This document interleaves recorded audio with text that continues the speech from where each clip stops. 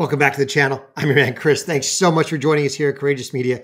Trump killed it again. He crushed it in Philly, a place I lived for 14 years. I have a lot of good memories of Philadelphia. Great place. It's stuck in the Northeast with a bunch of other wackos, but that's okay. High taxes. I escaped to Texas, but Philly was a great place. Loved my time there. And Trump absolutely crushed it. That's just a snippet of what we saw. We're going to check out a couple videos tonight that show that Trump is the people's president and his urban strategy of going to places like the Bronx, like Detroit, like Wildwood, New Jersey, and now in the heart of Philly at Temple University. This is absolutely paying off and it's absolutely demonstrating to the American people who he is in contrast with who the globalist corruptocrat Joe Biden is. So without further ado, let's dive in. Let's check out first, before he ever entered into the rally, Donald Trump visited a South Philly cheesesteak place. And there is nothing better than a Philly cheesesteak. Let me tell you, they're not replicated anywhere in the world. As close as some people get, it's not a Philly cheesesteak.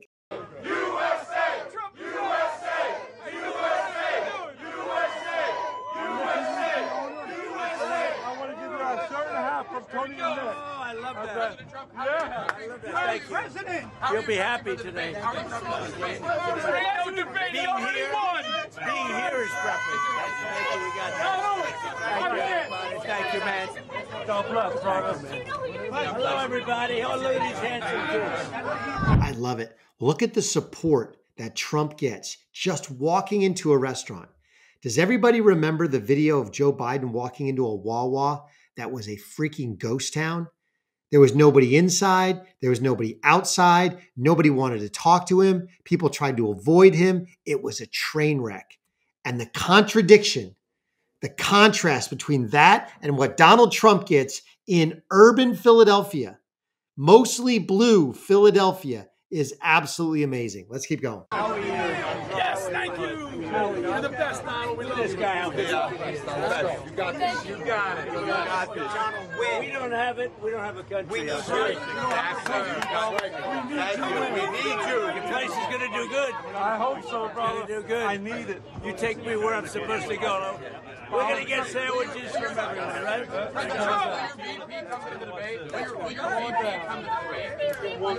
Uh, most likely, yeah, he'll be there. Yeah, I think we have a lot of people coming. There's a lot of interest, tremendous interest in the debate. And uh, you know, when you say prep, I think this is prepping. These people know better than anybody what they want, right? Have you decided who your vice president is? In my mind, yeah. Do they know? Does- does they know No, nobody knows. That's right. Tim Scott your way, baby. Win. Who do you like as VP? I like you to run the whole country the way you did. Who do you like? JD You like JD? Who do you like? Who? Oh, that's interesting. Who do you guys like as VP? Tim Scott. Columbus. Tim Scott. Tom Cotton. Tom Cotton. Marco Rubio. A lot of there's a lot of variants. Biden's a worthy partner for the debate? No. I think Biden has been the worst president in the history of our country. I think Biden is the worst president in the history of our country. I think he's destroying our country. I don't know. I don't know. All I can tell you, he struggles at being president. He's a terrible president. That's where he struggles. I don't care about the debate. I don't care if he struggles at the debate. You know where he struggles? At being president. Right? Pretty soon. Not too. Not too. Thank you, Mr. President. Make Columbus. Absolutely awesome. I love that line. Are you worried about, or you- do you think that Biden will struggle at the debate? I don't care. He struggles at being president. He sucks as being president. He's absolutely right. Fantastic. The support that Trump gets from everyday people. He is truly the people's president. And I love the fact that they are doubling down on this urban, blue collar, people's president strategy in Wildwood, in Detroit, in the Bronx, here in Philadelphia. Huckabee appeared on, I believe it was Fox, and he has some very good things to say. We're going to check that out. And we're going to check out some anecdotal proof of just why this is working. Governor Huckabee, the crowd is big. The crowd was huge in the Bronx, huge in Wildwood, New Jersey. You could argue he's not going to win New Jersey, and it's going to be hard to make up a nine point deficit in New York. But he went to Detroit. He might not win that city, but he wants to win the state. What about this strategy of going into the urban environments, un- unscripted, flying, you know, on, uh, off the cuff? Your thoughts about this tactic? I think it's brilliant, and the reason it's brilliant is because he's going where angels fear to tread.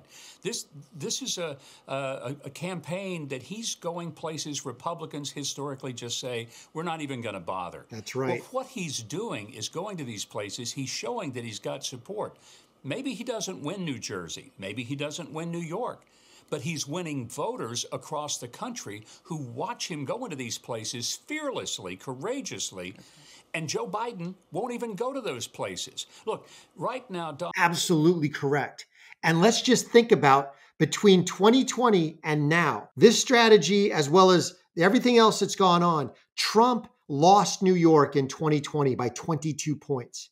He lost New Jersey by 20 plus points. I think it was 2021. The lead, according to polls right now, he has cut those leads from 22 to 9 and from 20 to 8. He's single digits behind Biden in New York and New Jersey. And he has put Minnesota in play. It's a dead heat, according to all the polls. And he has put Virginia in play, a state that he lost going away in 2020 by, I think, 11. He has put that in play. He has taken basically the entire voting base and he shifted it 10 points. And it's strategies like this because he is the people's president. This is beautiful. Donald Trump is doing the most important thing he can do, and he carries this into debate, and this election's over. He's the happy warrior. That's right. This is not a president of grievance. This is a, a president who is showing joy, showing a sense of humor He's rallying the crowd. And I say this term again the happy warrior. He's uh, like Popeye with two cans of spinach, and it's working for him. So, you know, Governor Sununu, you, will love this. So I asked the president, uh, former president today, I go, why are you going to Philadelphia? Why is that important? You know, we did better in 2020 there than they did in 2016. And he said, uh, I go, because you want the urban vote, you want the minority vote. He said, no, people need hope. Those, these right. are the people that need hope. Now, this is just a conversation two people are having. That's his mindset going in, and I think they're picking up on that. Oh, without a doubt. Look, look, just listen to that positivity, right? When he does a rally, they're chanting USA, USA. These are patriots. These are people that love their country. They want hope. They want optimism about getting things turned around and bringing it back. You, watch a Joe Biden rally. Is anyone chanting USA, USA? No, they're just praying he gets through it without falling asleep. I mean, literally. So there's no excitement on the other side. There's no energy, and that's what that's what uh, kind of galvanizing you can people can agree with you, but are you inspiring them to do something different? Are you inspiring them to be a better version of themselves? And I think Governor Huckabee is also exactly right. It's not necessarily whether Trump wins in these other states. He's showing America that everyone matters, right? Clinton, go back to 16. This is what Hillary Clinton did wrong. She took all these states for granted. She took the citizens of this country for granted, right. and they said we don't like it, and they, they brought Trump in. So he's he's kind of copying that same playbook, but right. it's an American playbook. It's the right playbook to win. Absolutely correct. Donald Trump is building a brand new coalition that we have not seen before since Reagan. Since Reagan pulled in the Reagan Democrats, if anybody remembers that term, Donald Trump is building a brand new coalition. And that coalition is America First Patriots. People who realize that the true fight in this country is not Democrat versus Republican. That's what it manifests as. But the true fight is between American citizens and people who love this country and the globalist cabal of corruptocrats who run the Democrat Party, who are the Democrat Party, and who are right now running our government, especially all of the three letter organizations that have been weaponized against their political opponents. That's the coalition that he's building. And it spans independent, Republican, and Democrat. And it's become us versus the establishment. And that's the coalition. That's the winning formula. And just to check out, you saw a snippet of this in the beginning, but the anecdotal evidence is check out this awesome migrant lady from Philly as she lays out the whole case. People's president. He is the only one who can save the United States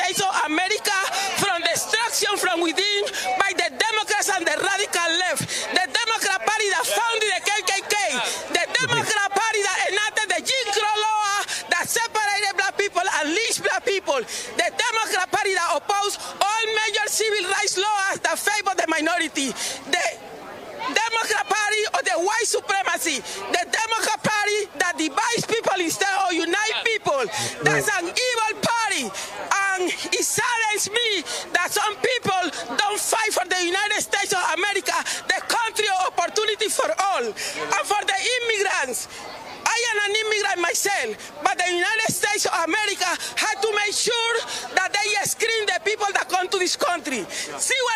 President Trump. The judge from Manhattan was born in Bogota, Colombia. The judge from Washington, D.C. was born in Jamaica. The White House press secretary was born in Haiti. Soros was born in Greece. Mayorkas was born in Cuba. What it means is that the United States of America is importing its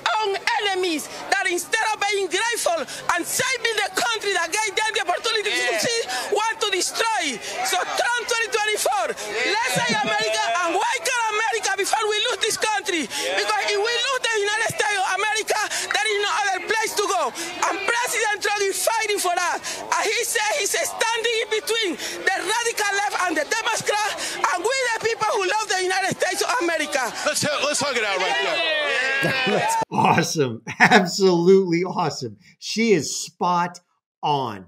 She is so right. This country is the country of opportunity for legal immigrants, but we are importing our own enemies. Joe Biden is importing a private army of Chinese military age nationals, of Middle Eastern military age nationals. He's flying in criminals and insane asylum escapees from Cuba, Venezuela, Bolivia, Ecuador, and other places. 300,000 a year being flown in directly to the United States. No vetting, no immigration, no asylum, no nothing. And we've got millions pouring across the southern border with hundreds of thousands of Chinese and Middle Eastern military age single men. We are importing our own enemies to fight this country. And it's all at the behest of Joe Biden. Joe Biden is a abysmal failure. He hates this country because he is a globalist corruptocrat who is beholden to the global establishment. And we have to get rid of him. And it's just this way. It's Trump, the happy warrior. That's what's going to win this thing. He is in the urban areas showing people that there is hope. And that hope is Trump, and that hope is God. Trump is just right now the political face of all that. But Trump is the one who is talking about dismantling the deep state and getting us back to the 2016 to 2020 economy, foreign policy, and immigration that are the kitchen table issues for everybody. We can do this thing. We've got a country to save, we've got a republic to resurrect, and we can do it, Courageous Army, if we do our part. And that is donate, volunteer, get out in the arena of ideas, and finally go vote. Vote early and drag 10 people with you. And we'll make this thing happen by making it too big to rig. In the middle of all this, remember, God is good and He is sovereign. Remember, it'll all be good in the end. It's not yet good. It's not yet the end. Till I catch you next time.